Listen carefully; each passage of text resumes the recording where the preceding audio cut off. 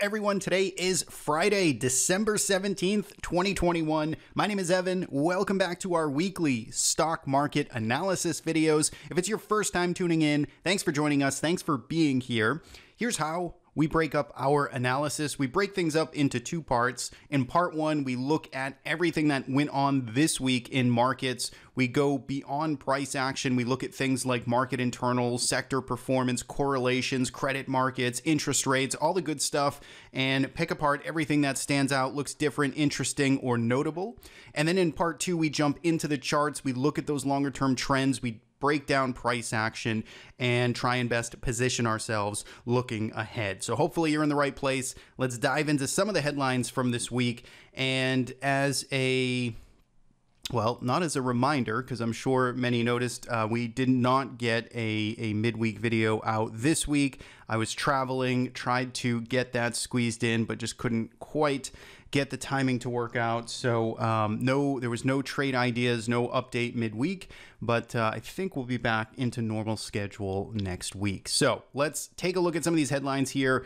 Big takeaway is no all-time high follow through buying. So remember last week we had this big furious snapback rally across market indices. We saw the S&P, the Qs, the Russell all up to 3% last week, got new closing year to date all-time highs for the S&P 500 and this week we ended up giving some of that back. And i am sort of pleased with the title of last week's episode where we sort of talked about this scenario that the title of last week's market analysis video was after the snapback rally is now the right time to panic. And the idea behind that title, and we sort of talked about it at various points throughout the video, was that now that we got the snapback, now that we, you know, worked off all those extreme oversold conditions, is this the time where we want to reposition ourselves, where we want to take notice of the breadth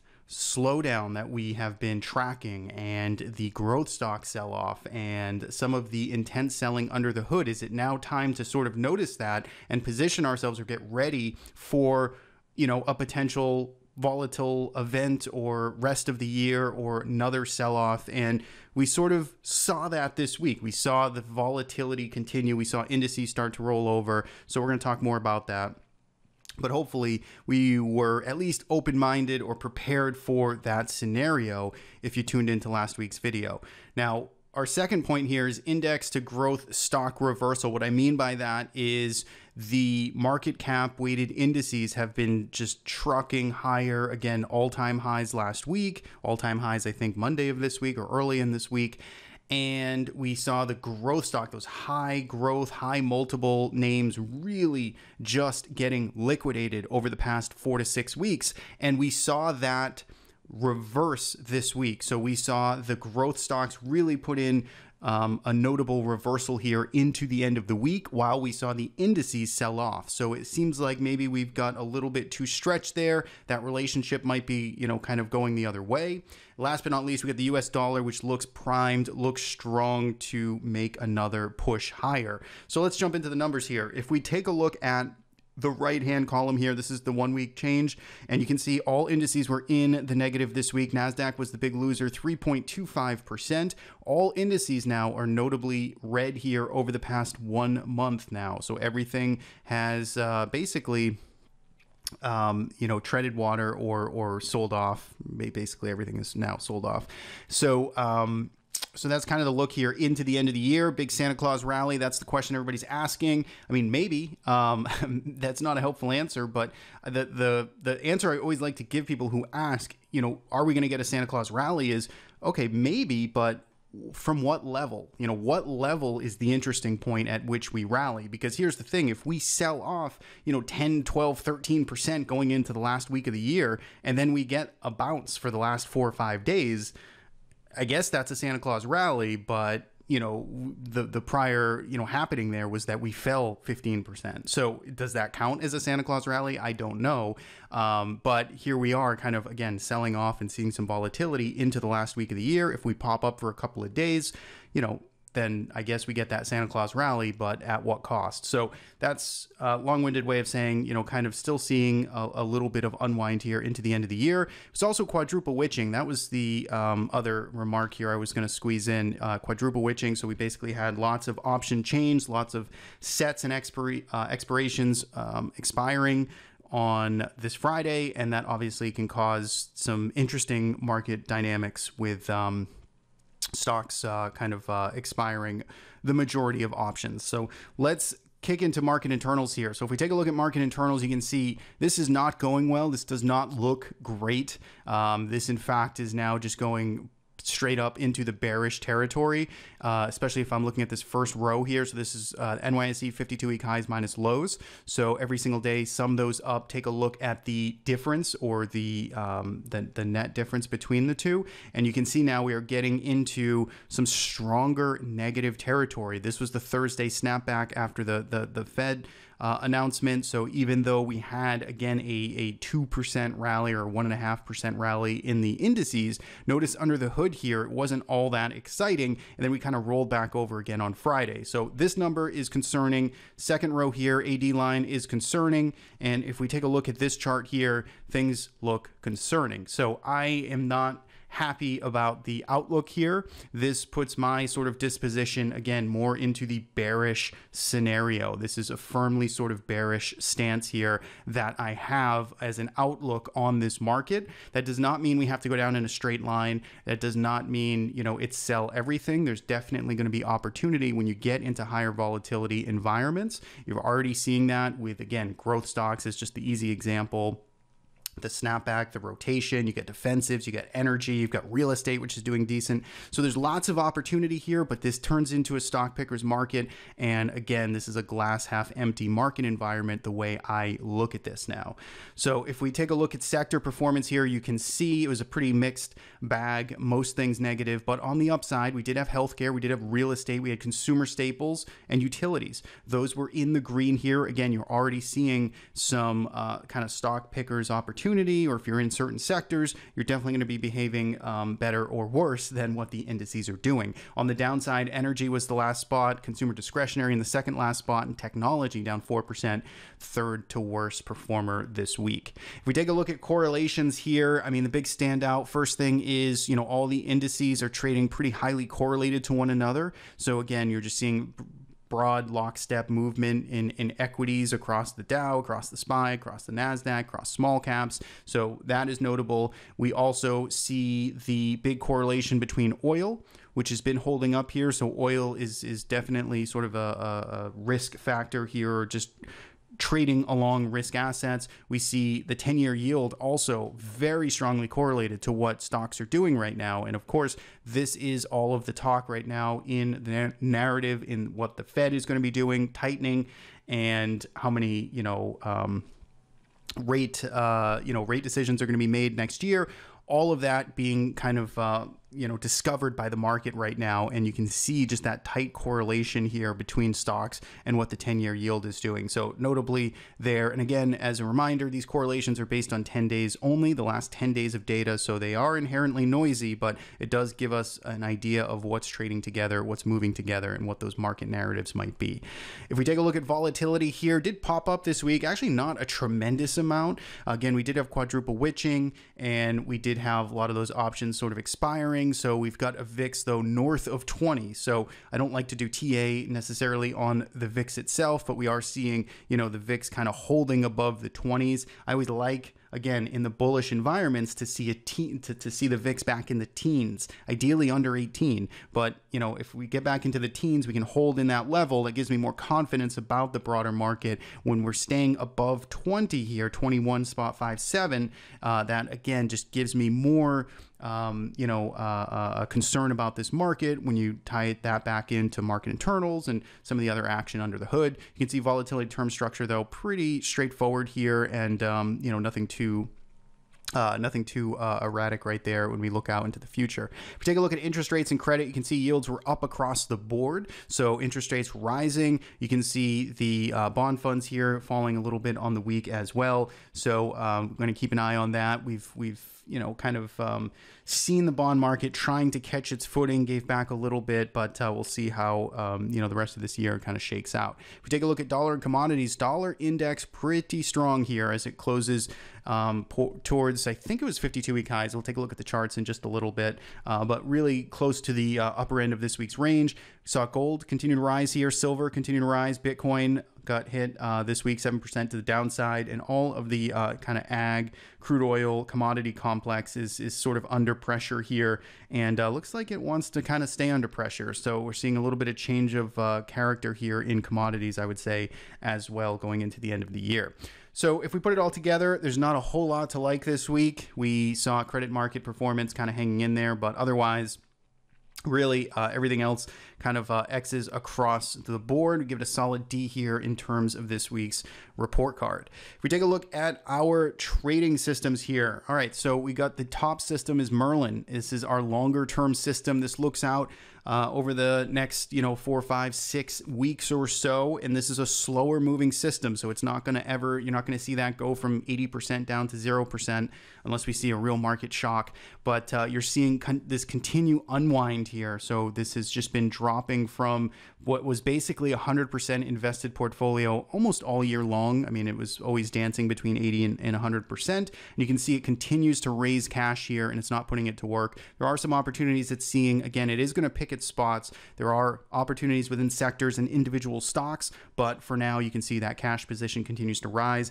Lamerick here, remember, this was net short last week. And so coming into this week, what it did was start to cover those shorts and then into really um, the last two days here started to pick positions back up. So it's got 11 positions on, which is almost its full boat of what it will hold. And you can see it's still just net 22% invested. So that means it's holding longs and shorts right now. This is the environment where Lamerick starts to like volatility and starts to pick the kind of short term opportunity uh, between uh, all of this movement. So right now, that is our positioning. Again, uh, these trading systems are complete turnkey sort of portfolios. We generate trade reports, and everything can be sort of traded, conducted, and um, you know executed end of day only, you know, without staring at markets all day. So if you're interested in this, if you want to get our signals and insights every single night, check out the link appearing in the top right of your screen. Now, with that, we're back here in just a second with some part two. All right, we are back here. We've got TC2000 open. We've got our equity market grid showing.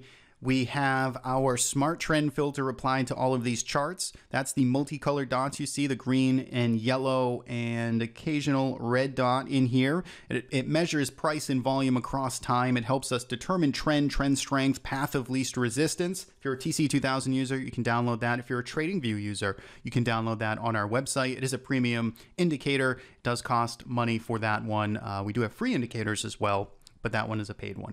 All right, so this is a weekly time frame we are looking at here of the major indices. And what you'll notice is despite the selling, despite the pressure this week, we still have no trend uh, sell signals here on the long-term time frame. In fact, if we look at the S&P 500, this week produced a buy signal for the S&P 500 on a weekly basis. So this was neutral chop for the past 2 weeks and it produced a buy signal this week. And what that's telling us here is that we still don't have enough weakness based on really price, price and volume, but those combination here just really hasn't been able to to, to break down from this long-term trajectory. This makes sense, and this is a little counterintuitive to what we just talked about in part one because we labeled a lot of sort of pessimistic things that are happening underneath the market hood. And the way I really like to think about that is market internals and some of those other negatives about the market that we just finished talking about, those can often sort of precede what is going to happen potentially, right? Everything's probability based, so I don't want to be absolute, but my belief here is that if market internals continue to stay uh, you know, weak, and we see the VIX stay elevated, and we see those the wrong sectors outperforming all the things we just talked about. If that continues, I would expect to see the S&P 500 start selling off more aggressively here. I would expect to see a trend break and then eventually a sell signal produced. That is the bear case scenario. It hasn't happened yet. There's a chance it doesn't happen, but that's sort of the the mental map that I would use based on everything we just talked about. So we'll have to see if that happens. If we look at the NASDAQ 100, you can see this is definitely a weaker uh, market here. It's a weaker group of stocks. The Nasdaq 100 is still uh, still showing a yellow, kind of choppy, neutral, cross mixed signals right now. And if we look at the Russell 2000, uh, it's remarkable, but this is still holding on here to a yellow signal as well. This will be the first one to go down and produce a sell signal. It hasn't happened. It hasn't happened all year. It hasn't happened in the past two years. The last time we saw a sell signal here was right at the start of COVID or when we were first learning about COVID and it was spreading everywhere. That was back in March of 2020. That was the last time we saw a sell signal on the Russell 2000 weekly time frame. So these are bigger signals when they happen. It hasn't happened yet. We're going to keep an eye on that uh, next week. Same thing with ACWX. I would expect this one happens soon or first as well, uh, compared to the four of these. Hasn't happened just yet. Now, if we go down to a daily chart, so we go a little bit tighter on the action here. The Russell 2000 has been in a sell signal since November 24th. So if you were just looking on the uh, daily chart here and you were following the simple trend model here, you'd effectively be short or out of the Russell back starting in, uh, you know, right before uh, U.S. Thanksgiving holiday. And so that has not changed. We're seeing volatility, of course, but we're still in a sell signal there.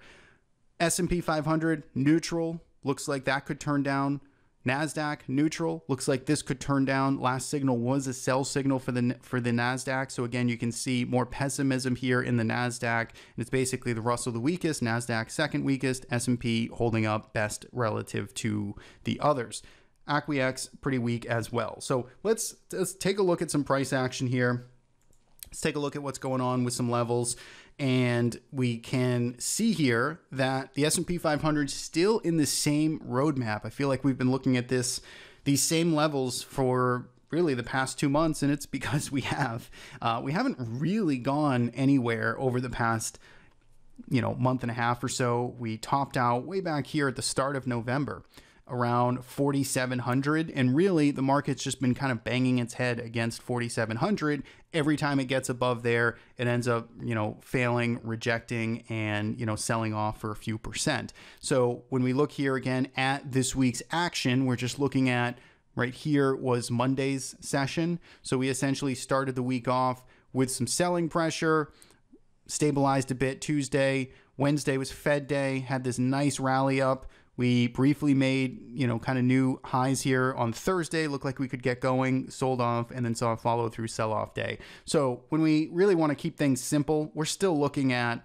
you know, let's call it 4720, right? 4715 anything over 4700 i mean that's that's still resistance here and we can really kind of simplify that by this indicator here which really has its entire job of just you know kind of mapping the obvious sort of resistance and support areas. And so when we look at this indicator you can clearly see all of the levels that are stacking up here around 4700 the more dots you see at a certain level the stronger that resistance is or the more apparent it has been.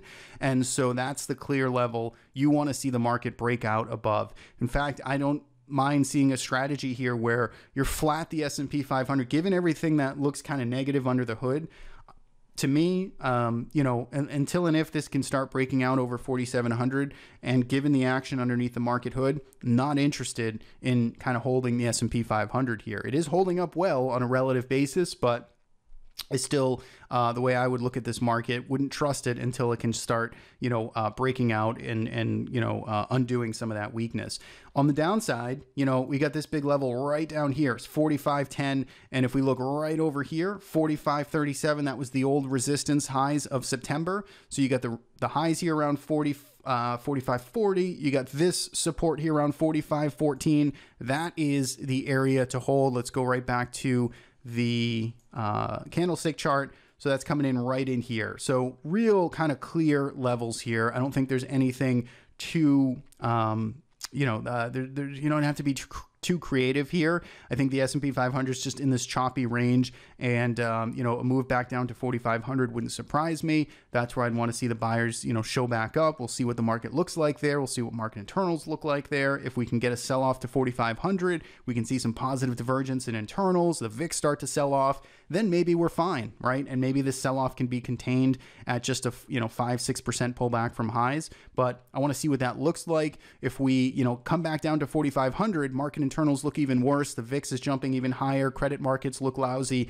Then uh, we might have something bigger on our hands to come back down to the 4,300 area. Again, these are all just possible scenarios, not predicting a big decline here, but I do look at this market as a glass half empty sort of market here. So I am more pessimistic than I ever have been in the past you know uh, year let's call it so that's really uh, kind of the, the the high level on the s&p 500 i don't think it needs to be much more complicated than those big levels there 4720 and 4500 let's call it if we go to the Russell 2000, it's hanging in here. It's trying to hang in here, and for good reason. Because again, if we just go to our very simple indicator on support and resistance, clean this up, go to a daily chart, and we take a look at this, look at all of this support, all of the dip buyers that have come in here over the past 14, 12 months, 10 months, 11 months, and have supported this market around 212.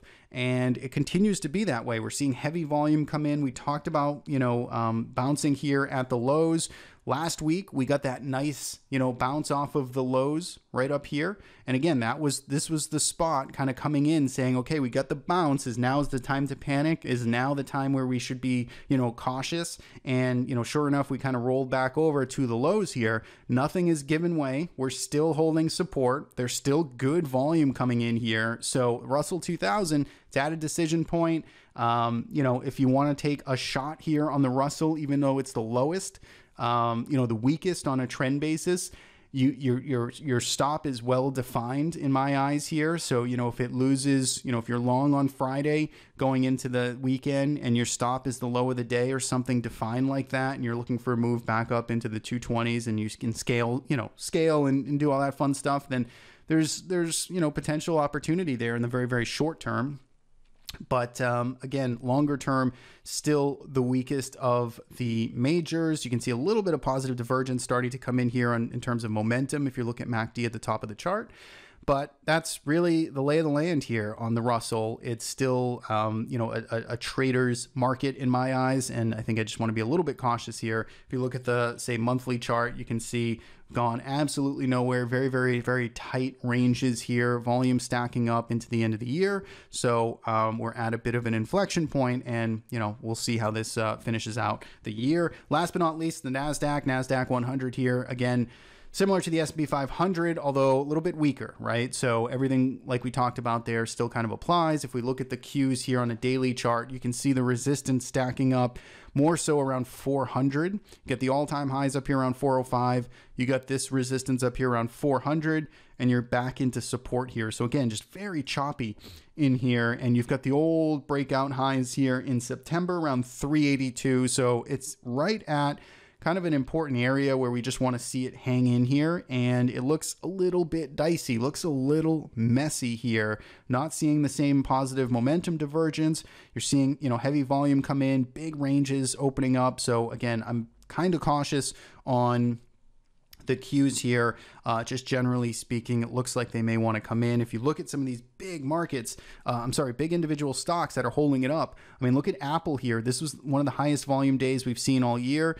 And again, if you throw on like Bollinger Bands on Apple, look at this weekly Bollinger. So Apple does not like to be above the weekly Bollinger Band all that often. You can see that, in fact, most of the times it really kind of you know reverses from outside of there. It it it you know starts a, a four, five, six week sell off.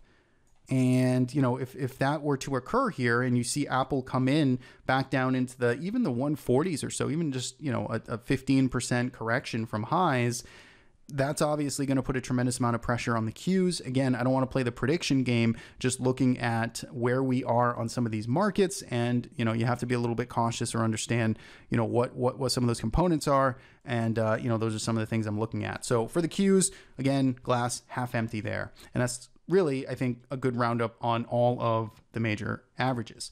Let's take a look at VIX. We talk about VIX here. I like to see VIX under 20 back into the teens, and it just couldn't stay there this weekend. So it, it chopped around right in here. I would have loved to see the VIX, you know, just entirely collapse down back into the 18s, go into Friday around, you know, 18 or so. That'd be a much better situation. We're seeing it hold up around 21, above 20 gives me a little bit of again concern. If I take a look at the US dollar, we talked about that. Look how strong the dollar looks here. And again, this this this can start to put pressure on lots of things as well lots of trickle down effects on uh, what the dollar is doing. And uh, of course, here the dollar now going into the weekend pretty strong. It's been chopping around three weeks, going sideways, high tight kind of consolidation. And we get a new all time, not all time, uh, new year to date weekly closing high here. So it looks like the dollar could run. MACD's leading, and that could put some pressure on lots of different um, assets there. If we take a look at 10 year yields, so if we take a look at the 10 uh, year treasury yield,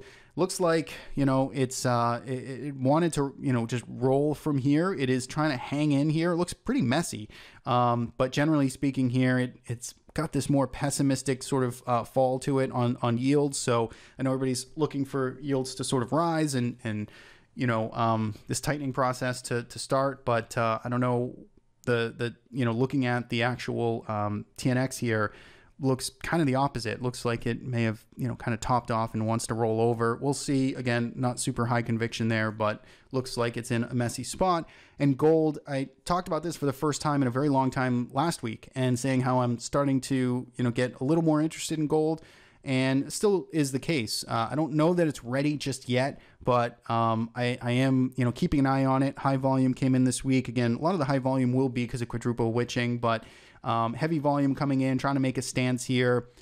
You know, if the dollar starts to really run, then that's probably going to continue to put pressure on gold. So I don't know that the timing's right just yet, but again, it is back on kind of my my watch list. So that I think covers all the majors here. Let's take a look at some of the sectors of interest here. You'll notice most things are bearish. So we've got a couple of simple scans we built out to look for kind of high volume breakouts and some other notable moves. You can see on the upside here, you can see drug manufacturers uh, really moving this week, high volume breaking out to new highs. We see utilities breaking out to new highs, and we see consumer defensive beverages breaking out to new highs. Again, in the most bullish markets, this is not exactly the group you want to see up here. So you'd rather see energy, industrials, technology, things like that. If we go to the bearish list, you will find those things. So here we go with uh, auto and truck dealerships breaking down on heavier volume, auto parts breaking down light volume, but eh, and I don't even want to say breaking down, but just continuing to sell off. See banks you know, continuing to slide lower here. Business equipment, industrials, you know, back to support. This would be an interesting spot for it. Home furnishing and fixtures, breaking down heavier volume, lodging, selling off, oil and gas, selling off, pollution treatment, industrials, starting to break down here. Railroads, still at highs, but, you know, reversing a bit. Tools and accessories, also down here. Waste management, consumer discretionary XLY, just generally got energy XLE, just generally XLE the sector, XLK, notable heavy volume kind of rejection off those highs, and then uh, back to the top of the list. So those are some of the movers.